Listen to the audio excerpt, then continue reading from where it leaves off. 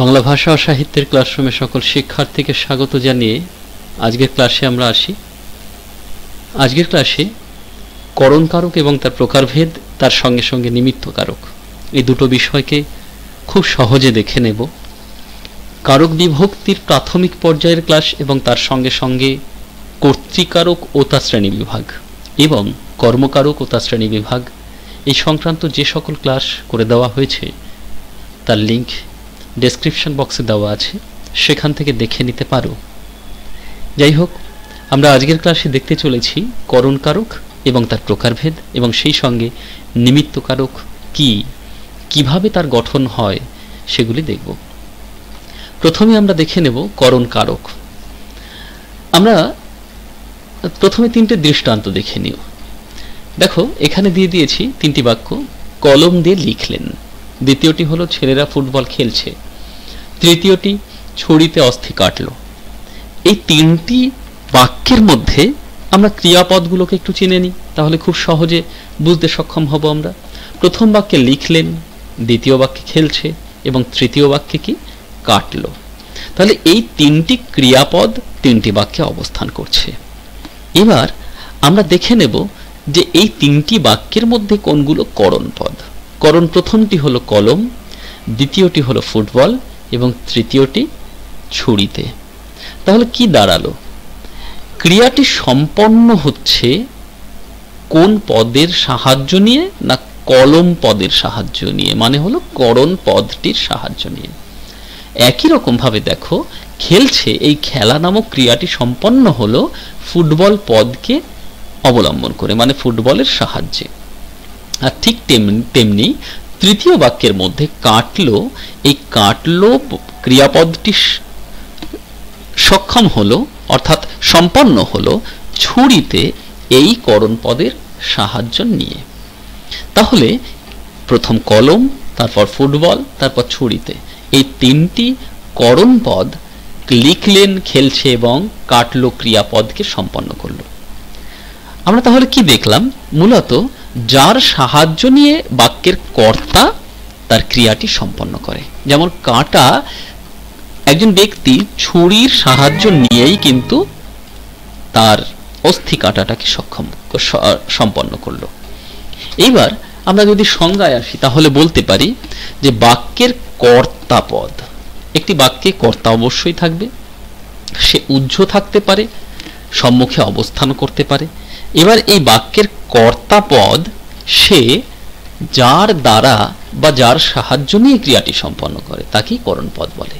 যার দ্বারা বা যার সাহায্য নিয়ে তার ক্রিয়াটি সম্পন্ন করছে, তাকে কি বলা হয়? করণ পদ এই করণ পদের সাহায্যে ক্রিয়াপদের যে সম্পর্ক, তাকেই বলে করণ কারক আর এই করণ পদের সঙ্গে ক্রিয়াপদের যে সম্পর্ক তৈরি হয়, এই সম্পর্ককে বলা হয় করণ কারক আমাদের মনে রাখতে হবে, করণ পদটি কিন্তু করণ কারক নয়। করণ পদের সঙ্গে ক্রিয়ার যে সম্পর্ক, এই সম্পর্ককে বলা হয় করণ কারক এবার আমরা করণ কারকের প্রকারভেদ দেখে নেব। প্রকারভেদ আমরা পাঁচ রকম ভাবে দেখে নিতে পারি। মূলত হেতুবাচক, যন্ত্রাত্মক সমধাতুজ উপায়াত্মক এবং লক্ষণাত্মক। এই পাঁচ রকমের করণ কারক আমরা ধারাবাহিকভাবে দেখব আজ। প্রথমে দেখে নিই হেতুবাচক। হেতুবাচক করণে, যেমন দেখো, আমি তোমাদের দুটো দৃষ্টান্ত এখানে তুলে ধরেছি। বড় দুঃখে আজ আমি এ কথা বলছি, আর আনন্দে মন নেচে উঠল। বড় দুঃখে, তাহলে কারণটা কি? দুঃখের কারণে এ কথা বলছি।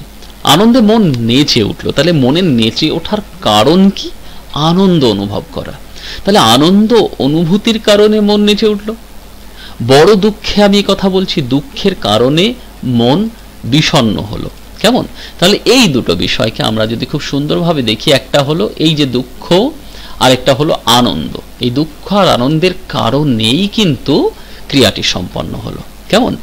তাই সেই হেতু আমরা কিন্তু এই দুঃখে এবং আনন্দে এই দুটিকে হেতুবাচক করণ পদ বলতে পারি, আর এই হেতুবাচক করণ পদের সঙ্গে ক্রিয়াপদের যে সম্পর্ক বলছি, উঠল, এটাই হলো হেতুবাচক করণ কারক। সংজ্ঞায় কি বলব? যে করণ কারকে হেতু বা করণ অর্থ প্রকাশ পায়, তাকেই হেতুবাচক করণ বলে। এবার দ্বিতীয়, যন্ত্রাত্মক করণ। এটা শুনেই তোমরা বুঝতে পারছ, যার আত্মে যন্ত্র আছে, অর্থাৎ যন্ত্রের সাহায্যে যখন ক্রিয়া সম্পন্ন হয়, আর সেই যন্ত্রটি তখন হয় করণ। কেমন? ক্রিয়াটি সম্পন্ন হচ্ছে কার দ্বারা? ছুরির দ্বারা। ক্রিয়াটি কি? অস্থি কাটা। কাটলো হলো ক্রিয়া, কি কাটলো? অস্থি। কলম দিয়ে কি করা হলো? লেখা। তাহলে কলম ছুরিতে, কিংবা তুমি যদি বলো যে লাঠি দিয়ে সাপটি মারলো। পুলিশ লাঠি দিয়ে চোরটিকে পেটাচ্ছে। তাহলে এখানে দেখো লাঠি, এই লাঠির সাহায্যে কর্মটি সম্পন্ন হলো, ক্রিয়াটি সম্পন্ন হলো। এইবার এই ছড়িতে কলম কিংবা লাঠি, এগুলোই হলো করণপদ। আর এই করণপদের সঙ্গে ক্রিয়ার সম্পর্ককে বলা হলো যন্ত্রাত্মক করণ তাহলে এইগুলো যন্ত্র। তাই কি বলা হলো? কোনো যন্ত্রের সাহায্য নিয়ে কর্তা যখন কোনো কাজ সম্পন্ন করে, সেই যন্ত্রই করণপদ। তার সাথে ক্রিয়াপদের সম্পর্কই হলো যন্ত্রাত্মককরণ। তৃতীয়, সমধাতুজকরণ অত্যন্ত গুরুত্বপূর্ণ, মনে রাখতে হবে।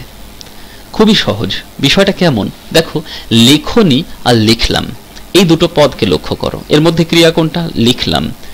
করণ কোনটা? লেখনি। দুটো পদই কিন্তু লক্ষ্য করে দেখো, লিখ ধাতু বা লেখ ধাতু থেকে তৈরি হয়েছে।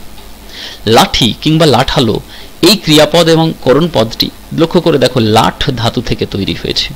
তাহলে একই ধাতু থেকে যদি ক্রিয়াপদ এবং সেই বাক্যের করণ পদ তৈরি হয় আবার বলি, একই ধাতু থেকে যদি একটি বাক্যের ক্রিয়াপদ এবং ওই বাক্যের করণপদ তৈরি হয়, তখন এই করণ পদটিকে বলা হবে সমধাতুজ করণ পদ নিশ্চয় বুঝতে পেরেছ?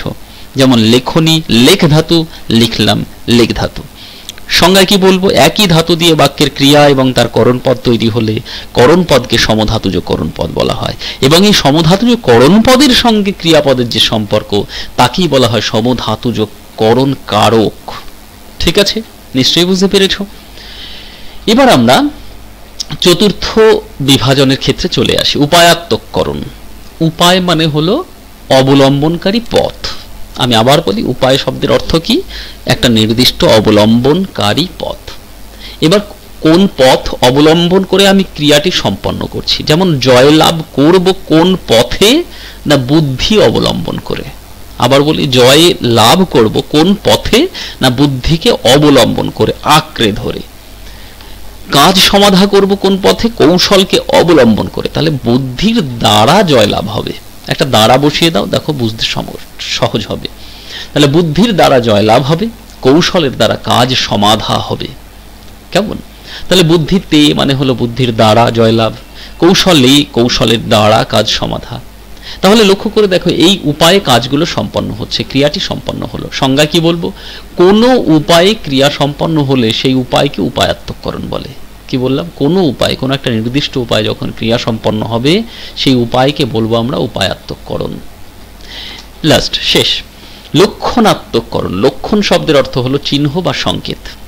গেরুয়া বসনে সন্ন্যাসী চিনি। গেরুয়া বসন পরে পরিহিত কোনো ব্যক্তি তাকে আমরা সন্ন্যাসী বলে জানতে পারি, বুঝতে পারি। কারণ সন্ন্যাসীগণ গেরুয়া বসন ধারণ করে থাকেন। তাহলে এই গেরুয়া বসন, এই লক্ষণ বা চিহ্নে আমরা চিনতে পারি কি? সন্ন্যাসী। যেমন ধর্মে এই ধর্মে যুধিষ্ঠির, অর্থাৎ ধর্ম পালন করেন যিনি যথাযথভাবে, তাকেই যুধিষ্ঠির বলতে পারে। আর যুধিষ্ঠির মানে তো আমরা জানি, তিনি সত্যবাদী। কেমন? আবার একই রকম ভাবে তোমরা নিশ্চয়ই একটা বাক্য জানো যে কলমে কায়স্থ চিনি, গোফেতে রাজপুত। এই বাক্যটি সম্পর্কে তোমরা যথেষ্ট ওয়াকিবহাল। তো কলমের দ্বারা আমরা কাকে চিনতে পারি? কায়স্থকে চিনতে পারি। আর গোফ কাদের অবলম্বন, অর্থাৎ গোফ খুব সুন্দরভাবে পরিপাটি করে রেখে থাকে রাজপুত নামে এক বংশ, এক ব্যক্তিত্ববর্গ। রাজপুত কোথায় বসবাস করে? রাজস্থানের মরুপ্রান্তরে এবং রাজস্থানের বিস্তীর্ণ অংশরে অংশে রাজপুত নামে এক জাতি বসবাস করত, যারা দুর্ধর্ষ এবং অত্যন্ত পরাক্রমী সাহসী। মোঘল পাঠানগণ তাদের কিন্তু কখনোই দমাতে পারেনি, পরাজিত করতে পারেনি। এই রাজপুত কিন্তু গোফের জন্য বিখ্যাত হয়ে আছেন।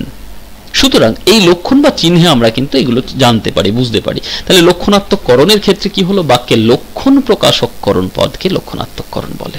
ঠিক আছে? নিশ্চয়ই বুঝেছ?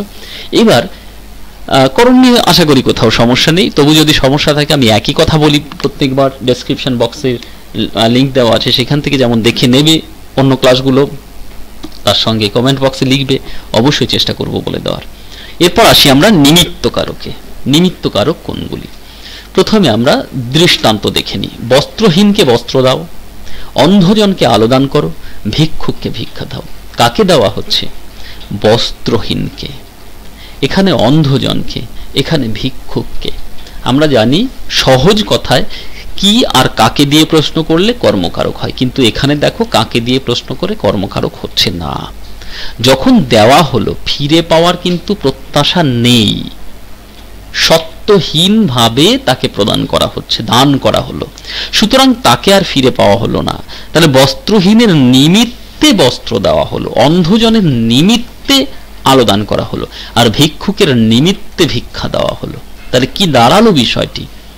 ভিক্ষা দাও, কি দাও ভিক্ষা? কার নিমিত্তে? ভিক্ষুকের নিমিত্তে। ফিরে পাবে? না। অন্ধজনকে আলোদান করা, অর্থাৎ তাকে সাহায্য করা। তাহলে আলোদান কার নিমিত্তে? অন্ধজনের নিমিত্তে, বস্ত্রহীনকে বস্ত্রদান, কার নিমিত্তে? বস্ত্রহীনের নিমিত্তে। সুতরাং এক্ষেত্রে এই যে বস্ত্রহীনকে, অন্ধজনকে, ভিক্ষুককে, এগুলি কিন্তু নিমিত্ত কারক হলো। কেমন? সংজ্ঞায় আমরা কি বলব? সত্য ত্যাগ করে স্বেচ্ছায়। এটা মনে রাখতে হবে, স্বেচ্ছায় সত্য ত্যাগ করে। কি করা হয়? কোনো কিছু নিমিত্তে কিছু প্রদান করা হলে মানে কোনো ব্যক্তির নিমিত্তে উদ্দেশ্য করে কাউকে। এখানে কাকে উদ্দেশ্য বস্ত্রহীনকে উদ্দেশ্য করে? কাকে উদ্দেশ্য করে অন্ধজনকে উদ্দেশ্য করে? কাকে উদ্দেশ্য করে ভিক্ষুককে উদ্দেশ্য করে? যখন কিছু প্রদান করা হলো, যার নিমিত্তে প্রদান করা হলো, অর্থাৎ বস্ত্রহীনকে, অন্ধজনকে, ভিক্ষুককে, এদের, এই যে ব্যক্তিবর্গ, এদেরকে তখন বলা হলো নিমিত্ত পদ।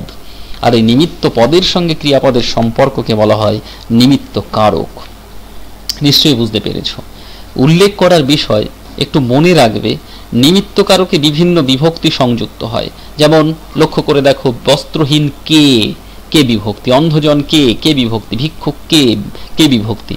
আবার তে বিভক্তি হতে পারে। যেমন, যদি বলা হয় যে সমিতিতে চাঁদা দিলাম, তে বিভক্তি। চাঁদা কি ফিরে পাওয়ার আশা আছে নাকি? না। আবার একই রকম ভাবে এ বিভক্তি সংযুক্ত হয়। এখানে বলেছি অন্ধজনকে আলো দাও। না বলে যদি বলো তুমি অন্ধজনে আলো দান করো, তখন অন্ধজনে এ বিভক্তি। ঠিক আছে?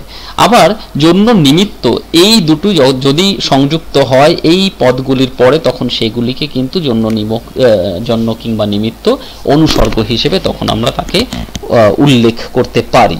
কেমন? করণের ক্ষেত্রেও তাই দ্বারা দিয়া কর্তৃক এই অনুসর্গগুলো কিন্তু ব্যবহৃত হতে পারে যেমন ভাবে অন্য সমস্ত বিভক্তি হয়। যেমন ধরে নাও, আমি করণের কথা আরেকটু বলিনি, এই জায়গায় একটু সংযোগ করে দিই। যেমন আমি যদি বলি যে শক্তি দ্বারা তাহাকে পরাভূত করিলাম। তাহলে শক্তির দ্বারা, এই দ্বারাটা দেখো করণ কারকের, এই শক্তি এটাও করণ পদ, তারপরে দ্বারা বসল, এই দ্বারা কিন্তু অনুসর্গ। কেমন? এখানে দেখো, এই যে গেরুয়া বসনের দ্বারা সন্ন্যাসী চিনি যদি বলি, তার দ্বারা সেটা কিন্তু অনুসর্গ হয়ে যেতে পারে। আর গেরুয়া বসনে সন্ন্যাসী চিনি, এ বিভক্তি। আর গেরুয়া বসন দ্বারা সন্ন্যাসী চিনি, শূন্য বিভক্তি কিন্তু দ্বারা অনুসর্গ সংযুক্ত হতে পারে। বুদ্ধিতে জয়লাভ হয়, বুদ্ধি দ্বারা জয়লাভ হয়, যদি বলি, বা বুদ্ধি দিয়ে জয়লাভ হয়, তখন বুদ্ধির পরে দিয়ে ওটা অনুসর্গ সংযুক্ত হয়ে গেল। কেমন? এই রকম করণকারকই কিন্তু এ, র, তে, অন্তস্থ এই বিভক্তিগুলো সংযুক্ত হয়ে থাকে। কেমন?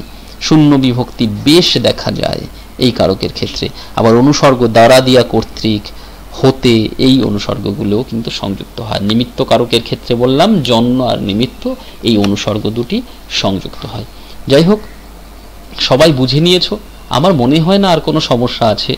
খুব সহজে বলে দেওয়ার চেষ্টা করলাম। আগামী ক্লাসের জন্য অপেক্ষা করো। সকলে ভালো থেকো। আর এভাবেই ক্লাসের সঙ্গে সংযুক্ত থেকো।